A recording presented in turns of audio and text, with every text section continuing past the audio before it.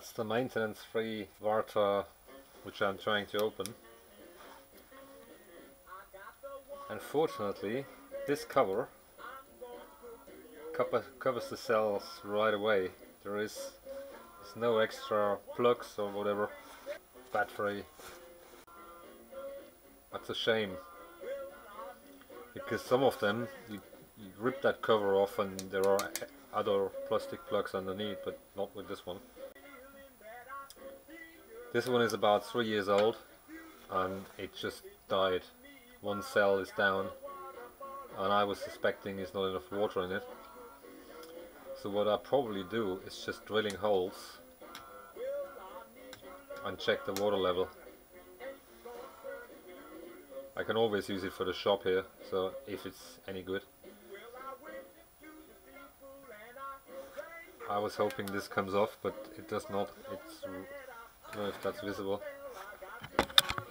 That's right into the into the cell here.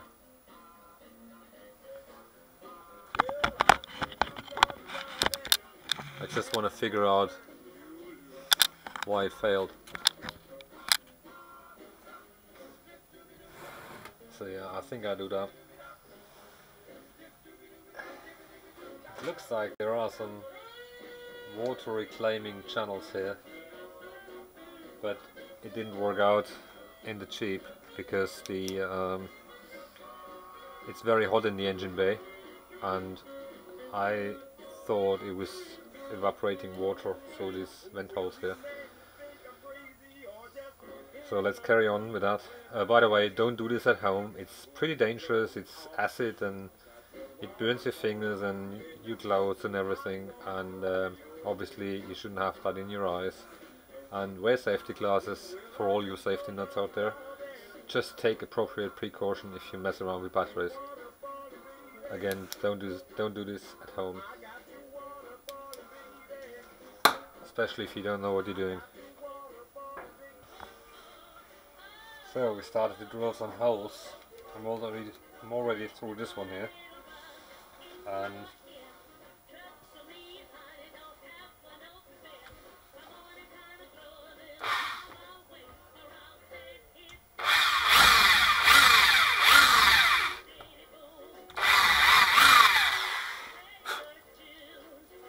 To drill for first time. Just to make sure I'm not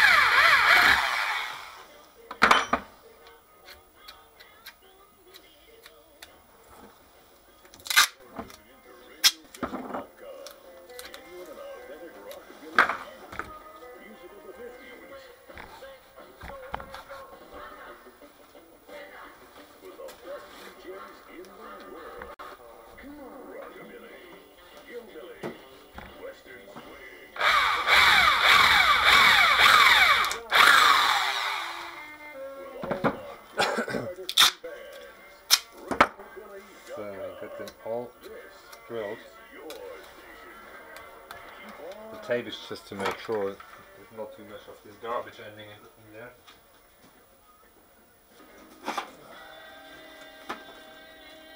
Just cleaning up the mess a little bit here.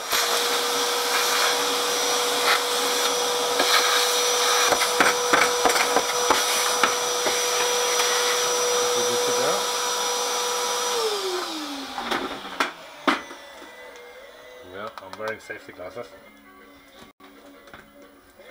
which is a good idea. So what we what we're trying to figure out now is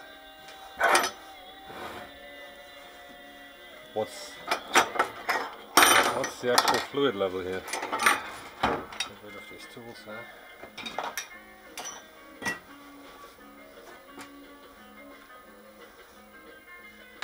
And if you play with uh, batteries, always keep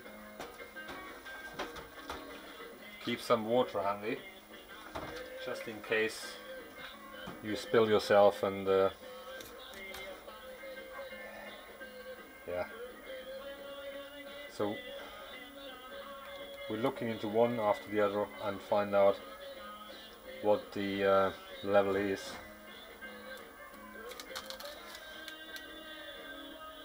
But that's above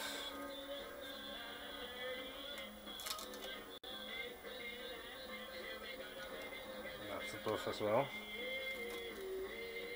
That as well.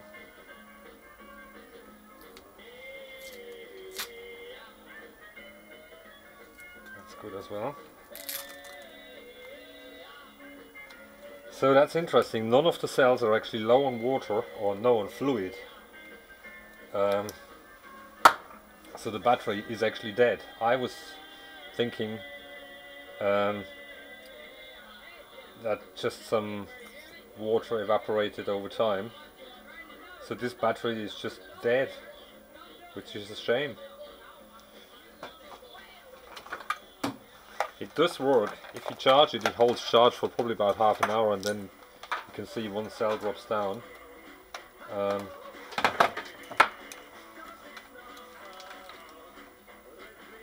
at the moment it says 12 volts, but if I if I load it,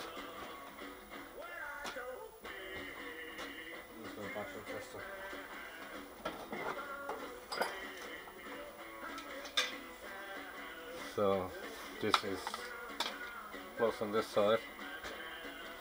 If I turn everything off, so no load at all.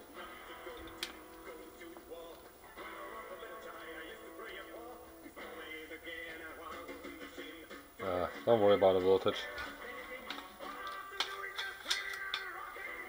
Reading garbage here.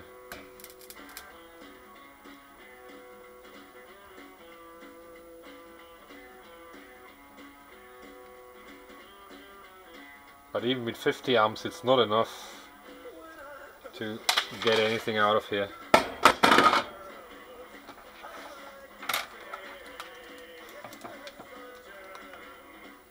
So that's down to 10 volts now and it was fully charged.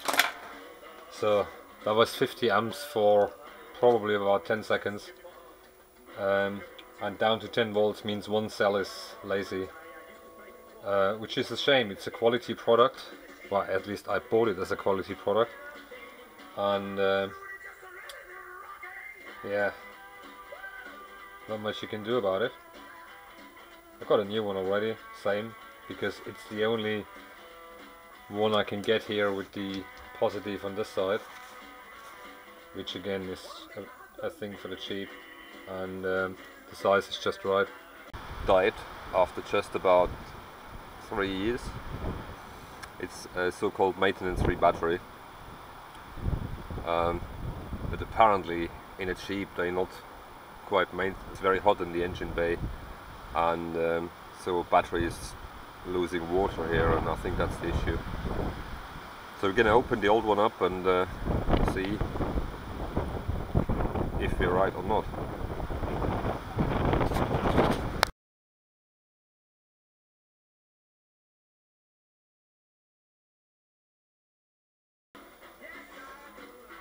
Okay, so that's going to the scrapyard. Nothing we can fix here unfortunately.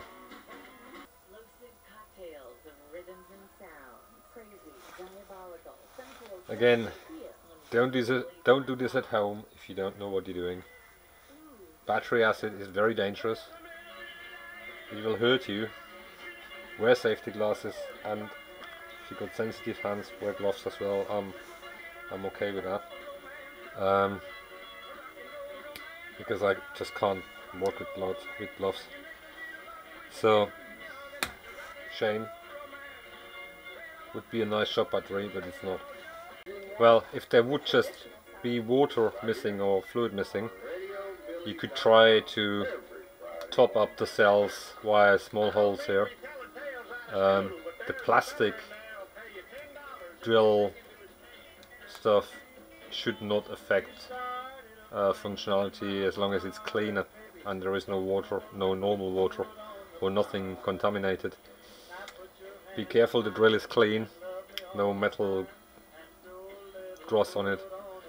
And um, so that would be a possibility to top it up. But obviously you can't use it in the car anymore because it will just spill. But for shop use as I hear use some batteries it would be fine. I saw other batteries where you could actually pinch that top cover off and there were some plastic plugs underneath but it's certainly not the case with this one here. Um, maybe just a few pennies saved there. Don't know.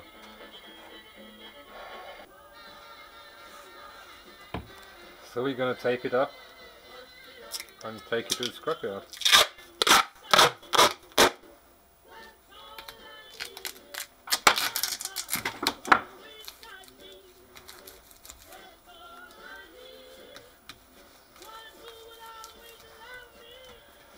Should be good enough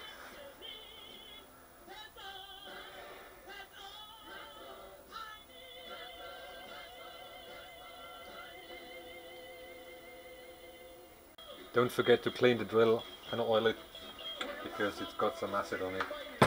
So otherwise it might rust. That's it from the battery, nothing more to say here. Till next time.